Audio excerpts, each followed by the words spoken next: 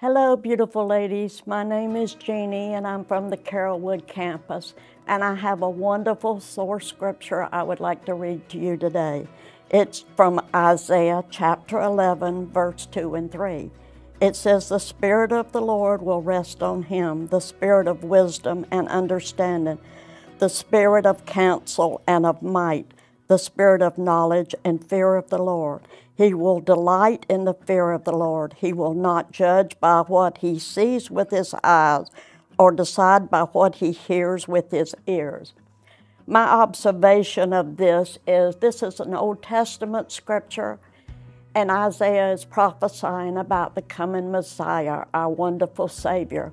And the Spirit is mentioned four different times in this verse, and it mentions the eight attributes of Jesus, which for me, I could follow more closely with those eight attributes than I find that I do every day.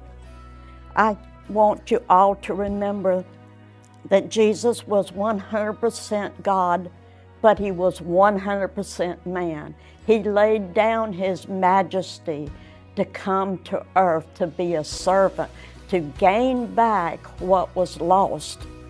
So therefore we have a lot to remember and a lot to strive toward becoming more like Him. So when I think about this, I ask myself, how can I apply all of this to my life? We have to stop and remember this is a special time of the year. And all the attributes that I talked about, I would like to read them, remind you of them. And it's the spirit of wisdom, counsel, might, knowledge. He delights in the fear of the Lord. He will not judge by what he sees with his eyes or what he hears with his ears. To me, that's so important because as a person, sometimes I forget all the attributes of Jesus and I forget that I need to put them in my life on a daily basis because I can't make it without Jesus because I was a mess that Jesus turned into a message. So I'm so grateful for that.